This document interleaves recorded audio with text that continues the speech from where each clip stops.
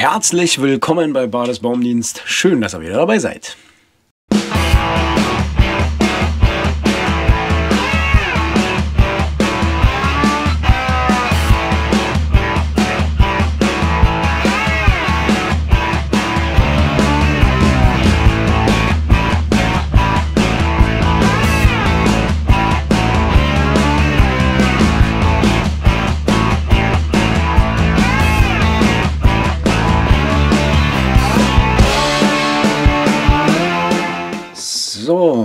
Updaten, neu starten. Nein, jetzt auf jeden Fall nicht. Ja, nochmal herzlich willkommen. Schön, dass ihr da seid. Wer unseren Kanal länger verfolgt, der kennt diese Ecke noch. Sieht jetzt zwar ein bisschen clean gerade aus, sah damals ein bisschen anders aus, aber das war damals mal unsere Q&A-Ecke gewesen. Unsere Frage-Antwort-Ecke, wo wir uns öfter gesehen haben zu diversen Themen. Warum sitze ich hier wieder? Ziemlich einfach begründet. Wir haben hier vor, aus dem Bereich einen Livestream-Bereich zu machen, um zukünftig von hier dann entsprechend auch mal live mit euch quatschen zu können.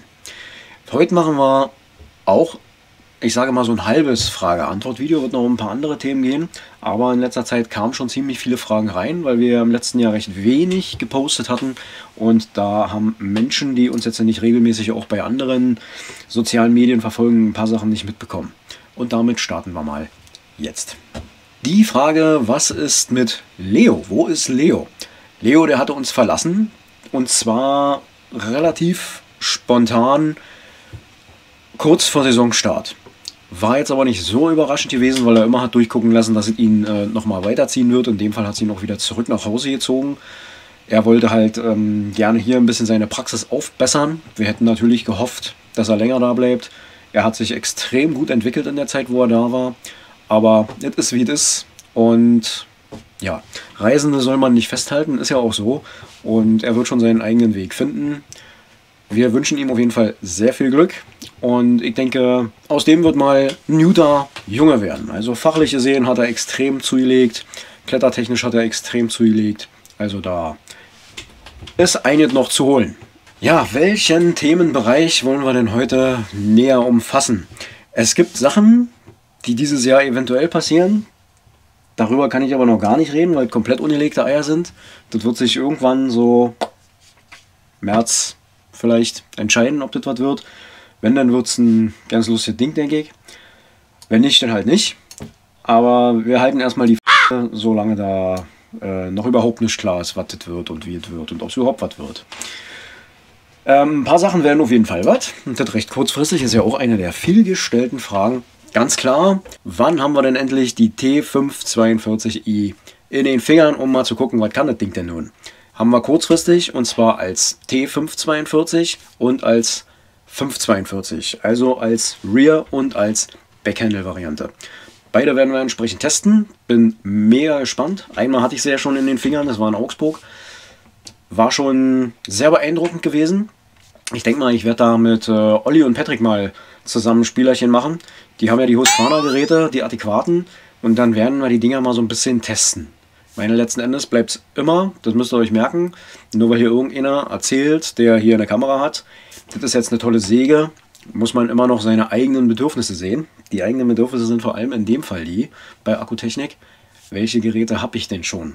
Ne? Also wenn ich jetzt ein komplettes Stilset habe, Stil, Entschuldigung, diese Korrektur, die wäre sonst garantiert jetzt gekommen.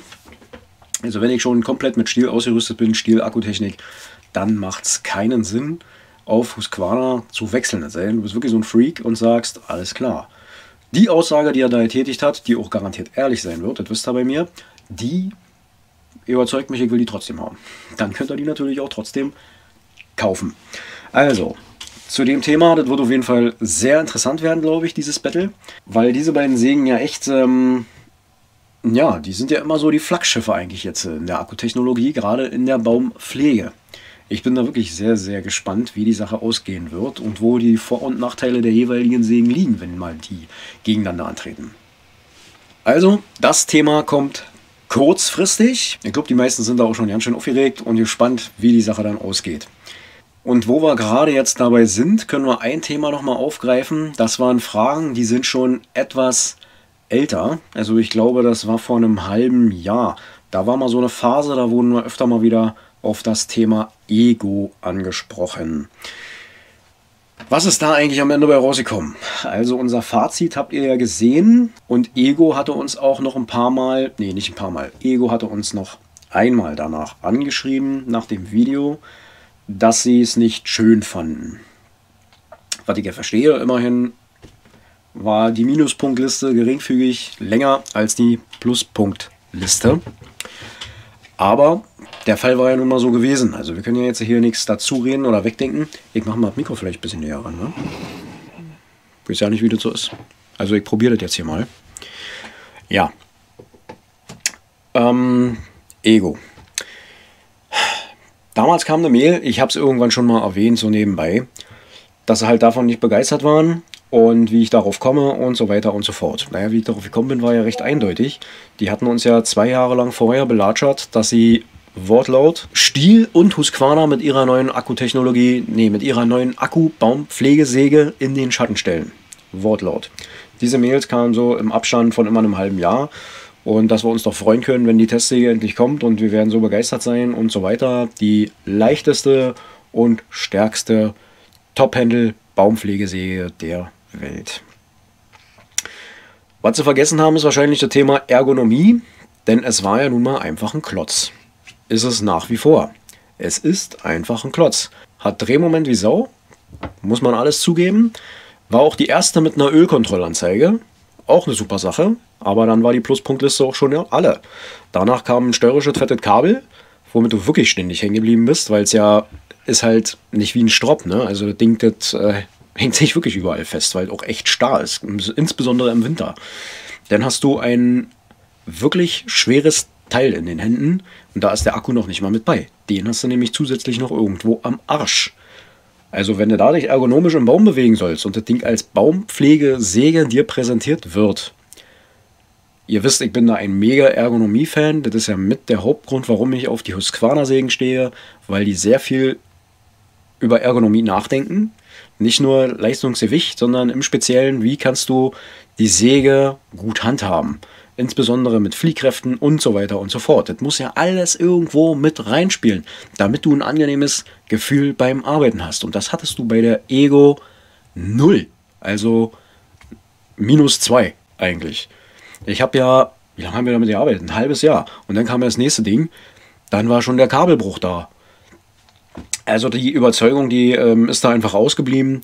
Und ich hatte dann auch eine entsprechende Mail zurückgeschrieben, dass es ja meine persönliche Meinung ist und ich Ihnen leider sagen muss, dass wenn Sie die Bau diese Säge wirklich, wie Sie geschrieben haben, mit Baumpflegern weltweit zusammen entwickelt haben, dann sollten Sie über Ihre Auswahl der Baumpfleger nachdenken. Ich weiß nicht, ob das jetzt schon arrogant klingt oder sowas, aber am Ende es, es blieb ja dabei. Ich habe geschrieben, dass ich für diese Säge auf dem deutschen Markt leider keine Relevanz sehe. Ich wünsche es Ihnen, aber ich glaube es nicht. Jetzt wollen wir mal gucken, wie viele Sägen sehen wir denn davon am Markt. Also bis auf die, die sie geschenkt bekommen haben, vielleicht noch 10. Die ich aber auch nirgends sehe. Aber mehr kann es nicht sein, weil egal mit welchem Händler du sprichst, wenn die nicht gerade zufällig irgendwo mit dazu geschenkt wird, hat die keiner. Und von, im professionellen Bereich gar nicht. Die hat keiner. Also, das ist das Thema Ego. Da kann man jetzt echt, ähm, ja, nur sagen, das war eine Luftnummer gewesen. Vielleicht könnten sie da nochmal ein bisschen äh, drüber nachdenken, aber mit ihrer externen Akkugeschichte es schwierig. Pelenk hat es ja genauso gemacht, bloß bei der Pelenk, da ist das Kabel nicht ganz so steif und bei der Pelenk, da hast du wenigstens eine extrem schmale Maschine. Vielleicht könnt ihr euch noch an das Video erinnern, wo wir die gängigsten Akkusägen gegeneinander getestet haben, wo wirklich deutschlandweit ein paar Kollegen ankamen und jeder mal so seinen Senf dazugeben konnte. Das war kurz nachdem wir die kleine Echo-Akku getestet haben. 2500, glaube ich, ne? oder 3500. Hab's jetzt nicht im Kopf. Damals habe ich ja auch ähm, zu der Echo gesagt, ja, ist okay für kleine Geschichten, aber ansonsten wäre sie für mich nicht interessant. Nachdem wir sie aber alle mal nochmal im Vergleich hatten zu den anderen Sägen, da hat die Echo schon wieder ganz anders abgeschnitten. Da muss ich dann wirklich zugeben, da habe ich mich geirrt. Da sollte ich von den zwei Tagen, wo ich die in der Hand hatte, vielleicht mal nochmal, ich sollte das einfach nochmal revidieren und die Gesamtsituation sehen, weil wir haben das Leistungsgewicht ja nochmal nachgeschaut und die Ergonomie. Die Ergonomie wieder, die war mega und vom Leistungsgewicht war die leichter als die Pelenk ohne Akku. Die Pelenk hat ja das Akku extra und die Echo hat das Akku mit drin beim Wiegen und die war leichter. Also von dem her, und dafür hat die wirklich Fund. Also für normale Pflege im Sommer, kleine Geschichten, wer eine gute Handsäge da, äh, sag mal, auch mal verschmäht, die ist wirklich gut. Da kann man nicht gegen sagen. Also, man muss auch den Bereich sehen, wo die Säge am Ende eingesetzt werden kann. Ich selbst bin aktuell am Überlegen, ob ich mir für den Sommer noch eine Echo hole, auch wenn wir sonst natürlich nichts von dem Akkusystem haben. Aber preis-leistungstechnisch, ich kann ja direkt mal gucken. Sekunde. Schauen wir mal nach.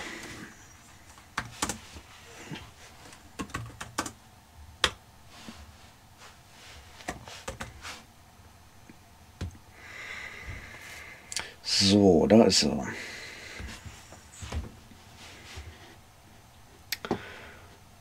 Also, die DCS 2500 TC war auch die, die ich getestet habe. Vor zwei Jahren, da haben die übrigens gesagt, dass sie mal einen größeren Akku in der gleichen Größe rausbringen wollen, der nicht deutlich schwerer ist. Heißt also, aktuell hatten die ja da immer einen 100er drin, glaube ich. Der hat natürlich nicht so super lange gehalten. So, was ist denn das? Also die Säge an sich 439 Euro hier gerade. Das wird ohne Akku sein natürlich. Gucken wir mal. Ein bisschen mehr Beschreibung wäre nicht so verkehrt.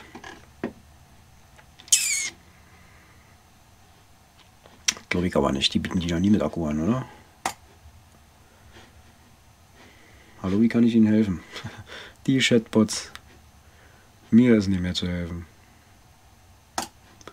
Gehen wir mal hier raus, nehmen wir mal den nächsten. Alter Schalter. Was ist das denn? Sekunde. Kommen wir hier vom Hundertsten ins Tausendste. Zulassen. Wieso ist denn die jetzt hier wesentlich teurer? Also, die ist jetzt hier bei einem anderen Hersteller, äh, bei einem anderen Laden, bei einem anderen Verkäufer für 734,29. Vielleicht ist das dann.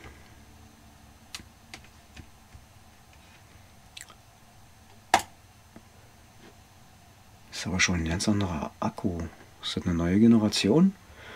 Das könnt ihr mal gerne in die Kommentare schreiben, weil mit Echo habe ich mich in den letzten Monaten Tatsache nicht mehr befasst. Also so gar nicht mehr. Gab es da jetzt eine neue Generation? Weil ich habe hier jetzt eine andere Maschine, die heißt genauso. Aber der Akkuschacht sieht anders aus. Der Kettendeckel sieht ein bisschen anders aus. Und die kostet einen Arsch voll mehr Geld. Gut, also Punkt um. Sagen wir mal, mit Ladegerät und einem Akku wirst du irgendwo um die 800 Euro liegen denke ich mal. Da kommst du mit hin. Und wenn du denkst, was dir das im Sommer an Kraft spart, dass du nicht eine größere mit hochnehmen musst, und mal der eine oder andere größere Schnitt ist mit der ja durchaus auch möglich. Ne? Also von daher kein Thema. Da denke ich halt gerade aktuell drüber nach. Und wenn die dann da sein sollte, dann kriegt ihr es natürlich auch als erstes mit, wie es mit der denn im Baum zur Sache geht. Oder vielleicht auch nicht. Ja, so viel erstmal zu dem Thema. Akkukettensägen in diesem Jahr. Ich denke, das Spannendste wird Tatsache werden gegen die Stiel MSA 220 TC, dass wir da mit der 542 dann mal schauen, was da alles so geht.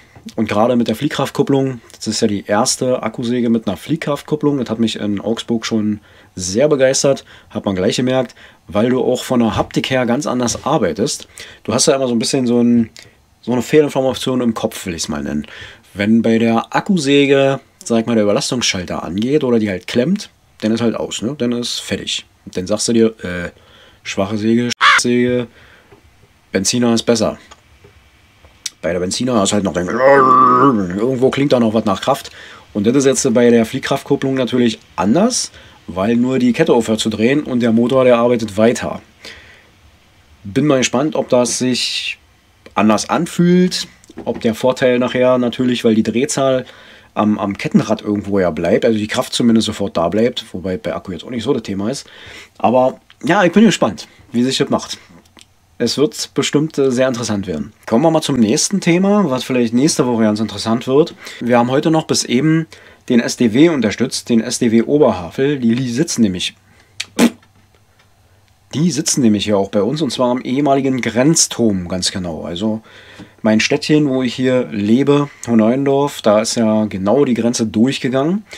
Und der Grenzturm, der wurde für den äh, Erhalt des deutschen Waldes sozusagen umgebaut. Für eine Schutzgemeinschaft, die da ihren Stützpunkt hat. Ganz interessante Sache. Viele Kinder und Jugendliche engagieren sich da auch. Und da haben heute unsere Rugby-Union und viele andere Bürger eine große Aktion gestartet. Ein Fuhl, Rotfuhl nennt er sich, wieder frei zu machen. So eine Aktion machen die öfter. Da sind die halt mit dem TA8 hin und haben das alles durchgehackt dass es auch vor Ort bleibt, die organische Masse. Bloß, dass der Fuhl wieder frei ist. Der ist halt ausgetrocknet, schon seit vielen Jahren. ist nicht mehr viel da. Vielleicht kommt es irgendwann mal zurück. Die Hoffnung stirbt zuletzt. Das ganze Spektakel machen wir nächste Woche aber nochmal. Ich habe heute ein bisschen was gefilmt, konnte es jetzt aber nicht mitveröffentlichen, weil ich dem Lack die Genehmigung nicht eingeholt habe. Ich habe also nicht mehr gefragt, die Menschen vor Ort, ob das okay ist und ob wir das veröffentlichen dürfen. Von daher lassen wir es. Und dann kommt es, wenn es denn okay ist, beim nächsten Video mit rein. Und dann kommt gleich noch die Sachen, die nächste Woche passieren. Da ist dann nämlich der THW mit bei. Und die Jungs, die haben gesagt, das wäre cool, wenn wir parallel mit da sind. Und der THW, das wäre wohl eine gute Aktion. Denke ich persönlich auch. Und dann starten wir da nochmal durch und hacken da alles ordnungsgemäß durch. Da ist der Raupenhacker natürlich prädestiniert für. Die hatten da sonst mit einem normalen auf Achse gearbeitet, den haben sie da so weit rangedrückt wie möglich. Und die Leute haben da wirklich 600, 700 Meter aus den Wäldern rausgeschleppt, das Material. Das konnten sie sich heute natürlich sparen, was auch enorm zeitersparend war. Ich habe es nicht gezählt, aber ich denke, es waren entspannt 50 Helfer da, die da heute losgelegt haben.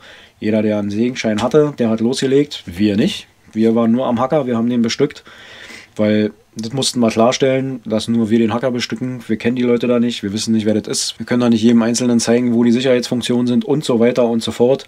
Das fällt aus, ist auch viel zu gefährlich. So viel tote Zeug und sonst was, das fliegt von links nach rechts und die haben ja auch nicht alle ein Visier vor der Nase.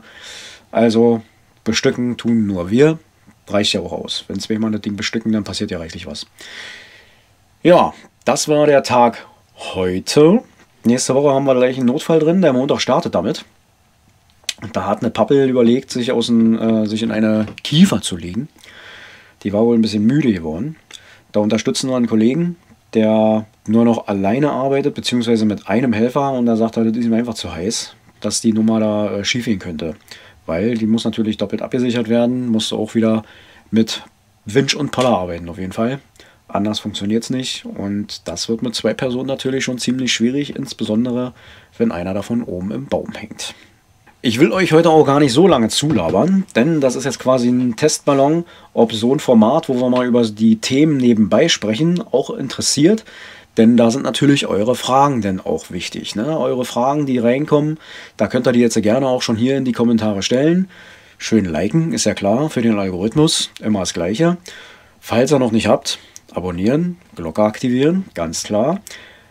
Und dann wollen wir mal schauen. Der Plan noch in diesem Jahr, näher will ich es mal überhaupt nicht beziffern, ist halt hier dann auch Livestreams zu machen, aber da muss technisch noch einiges laufen.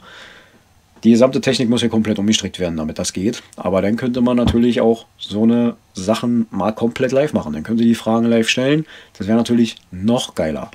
Und dann können wir uns hier noch ein bisschen miteinander unterhalten. Dann würde ich Kenny noch mit zuholen oder auch mal den Dad mit zuholen. Manne kann auch mal mit bei sein oder auch alle. Dann setzen wir uns hier schön zusammen, machen uns mal einen schönen Nachmittag oder sowas oder Abend und äh, quasseln mal eine Runde über ein paar Themen. Also wenn euch das interessiert, wenn ihr da Bock drauf habt, Daumen nach oben, ganz wichtig. So lange würde ich es wieder so veranstalten hier in unserer hübschen Kombinate. Die wird dann natürlich jetzt wieder ein bisschen hergerichtet, damit wir es wieder schön haben. Und immer wenn dann genug Fragen von euch zusammengekommen sind, dann geben wir hier Gas. Auch Tipps und Empfehlungen zum Beispiel sind für uns sehr wichtig. Haut mal raus, mit welchen Dingen ihr insbesondere gute Erfahrungen gemacht habt. Das ist ja für uns auch interessant. Ihr habt es ja gesehen, jetzt schon beim Suchen hier nach der Echo. Wir hängen ja auch nicht überall mit drin. Ne? Also wir sind ja auch recht beschäftigt, kriegen zwar ziemlich viele Informationen immer relativ früh, aber natürlich nicht alle. Insbesondere vielleicht von Unternehmen, die noch gar nicht so bekannt sind. Also, wenn euch da mal irgendwas auffällt oder ihr noch Fragen zu irgendwas habt, dann haut's raus. So, zum Schluss nochmal was, was eigentlich keine schöne Sache ist, aber ich habe es euch ja zu dem Akkusägen-Thema schon gesagt. Wenn da was Schlechtes, dann sagen wir es genauso. Übrigens auch bei Husqvarna wie Kettendeckelgeschichte, was übrigens mit das Interessanteste wird bei der neuen Säge. Soll ja wohl verbessert worden sein, dass der nicht mehr ständig verstopft. Aber genauso auch bei anderen Sachen.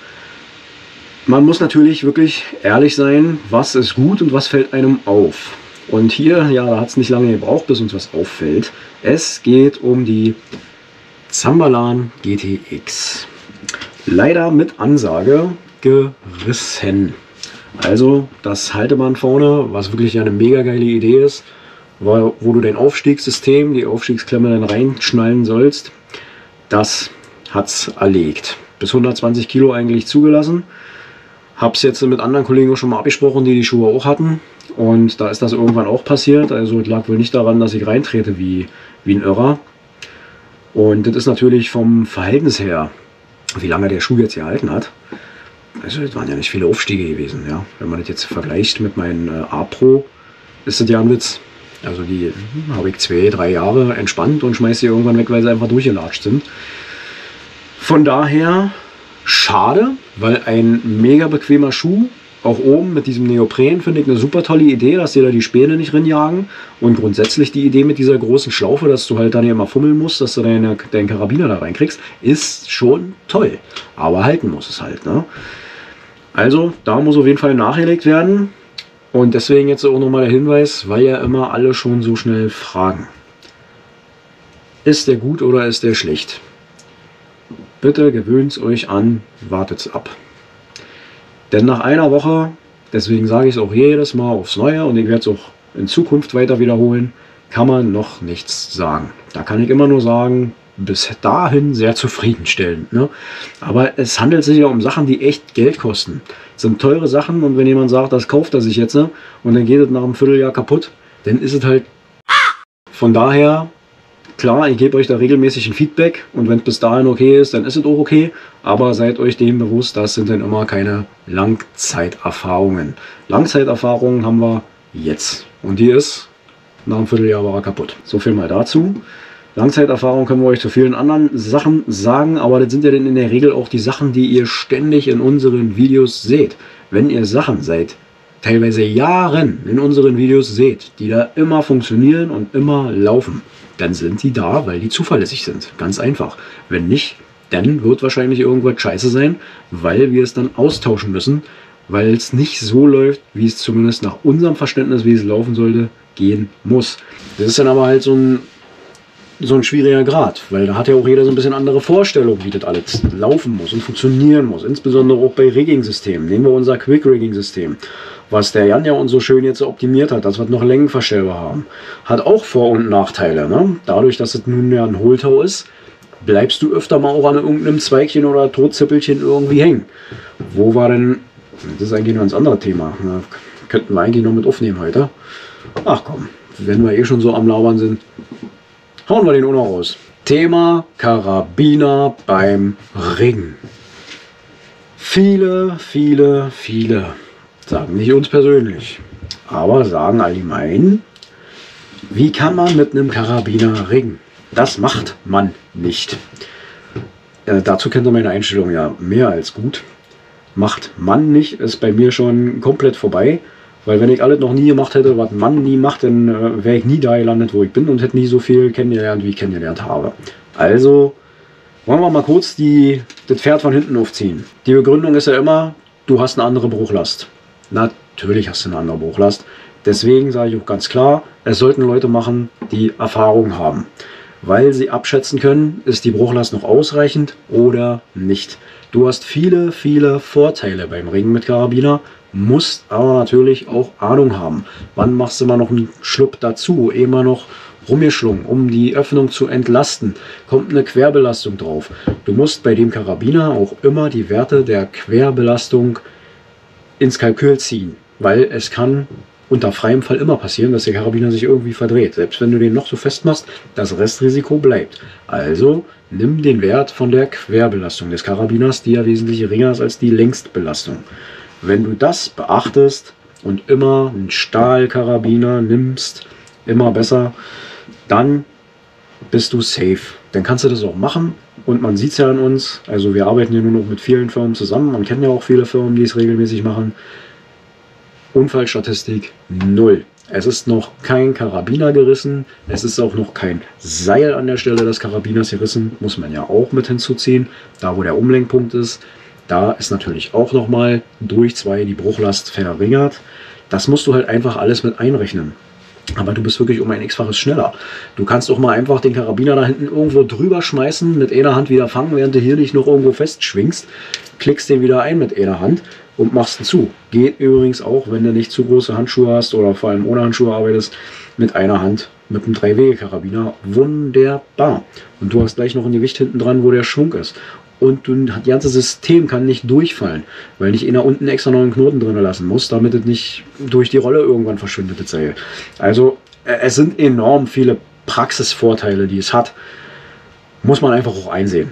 Ist Fakt. Also ich kann die Jungs verstehen, die da Bedenken haben, sind ja insbesondere oft in den Ausbildereien Menschen. Die Fakten, die sie sagen, sind ja auch alle richtig.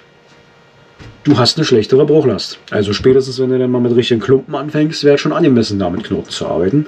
Aber solange das nicht der Fall ist und du entsprechend Erfahrung hast, die Sache einzuschätzen, geht die Nummer klar. Ich meine, ich muss jetzt sagen, unser entwickeltes Quick-Rigging-System ist darauf aufgebaut, aber es hat sich ja auch nun schon seit bald zehn Jahren oder was, komplett bewährt, weil wir uns ja da auch Gedanken gemacht haben, wie kommen wir hier ein bisschen schneller vorwärts. Weil wir ja nun, wir sind ja nur am Ringen. Sind ja wirklich nur am Ringen. Und da musst du natürlich dann auch mal auf Ideen kommen, dass du da auch mal ein bisschen vorankommst. Ja? Ne? Ist halt so. Gut, für heute soll es das aber dann wirklich gewesen sein. Wir sehen uns dann am nächsten Sonntag wieder. Nicht vergessen, wenn ihr dieses Format so mögt, wo man auch mal ein bisschen über ringsherum quasselt, dann bitte in die Kommentare schreiben. Und vor allem, welche Themen euch noch interessieren, in die Kommentare schreiben. Und vielleicht Sachen, die ich jetzt auch vergessen habe, die wir schon länger nutzen. Mal einfach nachfragen, was ist damit? Äh, Funktioniert es noch oder halt auch nicht? Ne? War das eine gute Idee oder war das eine schlechte Idee? Ich lasse euch da freie Hand. Wir sehen uns dann nächsten Sonntag wieder. Bleibt stabil. Bis dahin.